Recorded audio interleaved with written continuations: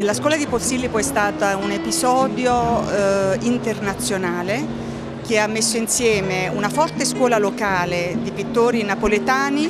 e del Regno con gli stranieri presenti a Napoli per il Grand Tour e ha portato la pittura alla sperimentazione del plein air, cioè eh, pittura dal vero, esclusivamente dal vero, totale, quindi un nuovo sentimento della natura, una nuova interpretazione dei luoghi visti e sentiti, la scoperta della luce, soprattutto da parte dei, degli stranieri del nord Europa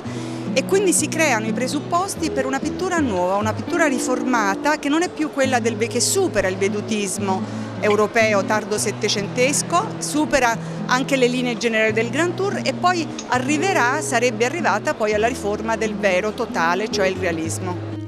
Nella Cappella Palatina del Maschio Angioino è stata inaugurata la mostra dedicata alla scuola di Posillipo, quel fortunato episodio di pittura paesaggistica che ad inizio Ottocento accompagnava il Grand Tour e gli scambi fecondi con l'arte internazionale. 75 opere da raccolte private che immergono lo spettatore in un viaggio nella natura e nell'atmosfera di Napoli e della Campania, da Pitolo a Gigante a Cedrin, Verblud e Dal, tutti conquistati dalla bellezza del clima, dai paesaggi stupendi e dalla forza della luce intorno al golfo.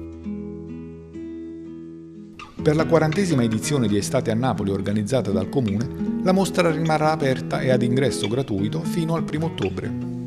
Io credo che sia veramente una cosa di un'estrema importanza.